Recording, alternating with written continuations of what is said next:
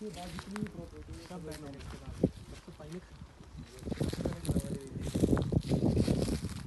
खराब और पूरा एंट्रेंस